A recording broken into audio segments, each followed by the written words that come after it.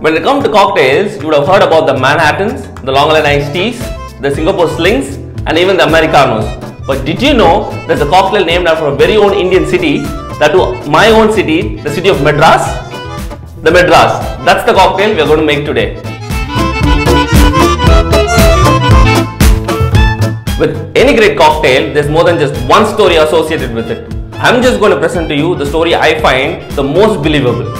So, when the Britishers occupied India, they really loved their alcohol.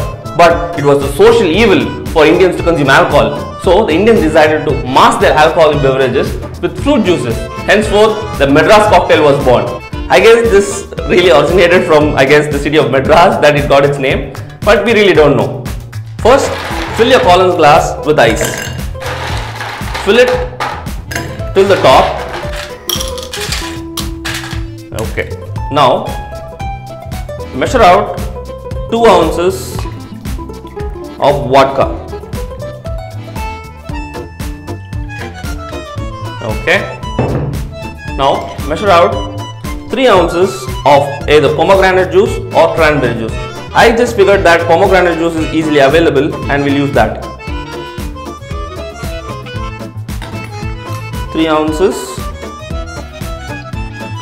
of pomegranate juice. Now 2 ounces of orange juice. Now for garnish add two lemon juice, and there you go. Your Madras. Time now for a taste.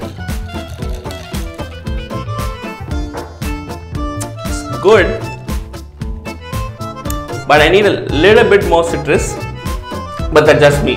The original cocktail also tastes nice. So I'm just pushing out half an ounce lime juice, giving the quick shake. Now, oh, okay, perfect. Anyway, guys, if you like this video and want to see more videos from our channel, please hit subscribe and share this video to anybody who needs Madras in their life. I know I have,